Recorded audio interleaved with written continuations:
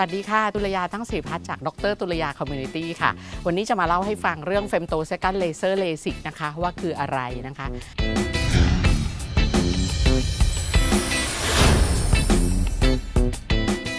มันก็คือเลสิกนั่นแหละค่ะ แล้วเราก็รู้อยู่แล้วว่าเลสิกนั้นประกอบด้วยขั้นตอน 2 ขั้นตอน คือขั้นตอนที่ 1 คือเปิดชั้นกระจกตาด้านบนนะคะ ซึ่งในวิธี femto เลสิกเนี่ย การเปิดกระจกตาด้านบนจะใช้ femtosecond laser เปิด flap นี้ขึ้นมา เพราะฉะนั้นเสน่ห์ของ femtosecond laser คือคุณสามารถที่จะควบคุมให้ความหนาของ flap นี้จะ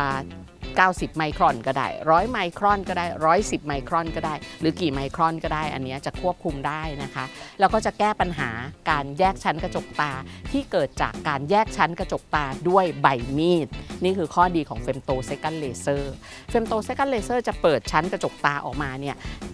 ยาวประมาณ 22มิลลิเมตรแต่ว่าโค้งนะคะแล้วก็เปิดขึ้นมาเหมือนเปิดหนังสือ เราเรียกชิ้นชิ้นนี้ว่า flap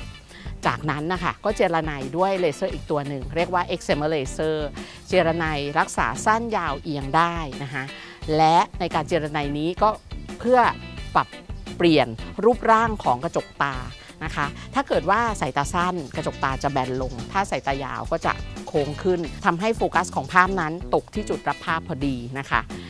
เพราะฉะนั้น femtosecond laser เลสิกจึงแปลว่าใช้เลเซอร์ทุกขั้นตอนเลย ใช้ femtosecond laser ตอนแรกคือเปิด flap และใช้ excimer laser ตอนที่ 2 คือเจียระไนรักษาสายตานะคะ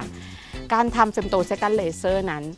ไม่ยากแล้วก็ไม่เจ็บ เพราะว่า สัมผัสตอนที่เราเจียรไนเนี่ยค่ะเบามากเหมือนเราวางคอนแทคเลนส์ที่ตา แต่คืนแรกอาจจะมีน้ำตาไหลนิดนึงนะคะ แล้วก็ระคายเคืองตาได้ ซึ่งไม่ต้องตกใจค่ะ จะดี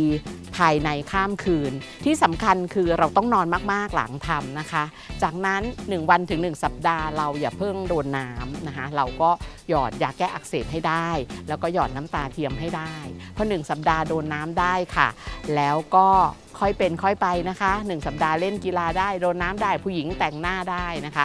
จากนั้นก็รอค่าสายตาให้นิ่งที่ 1 เดือน ตอน 1 เดือนก็ว่ายน้ำได้เล่นกีฬาทางน้ำได้ค่ะหลัง 1 เดือนนะคะ ขอให้มีความสุขกับการรักษาสายตานะคะ ไม่ว่าจะเป็นวิธี femtosecond laser วิธีเลสิกหรือ ReLEx SMILE นะคะ เรื่องราวดีๆ เกิดขึ้นที่นี่ค่ะ Dr. ตุลยา Communityเสิร์ฟความรู้ร้อนๆ เกี่ยวกับโรคตา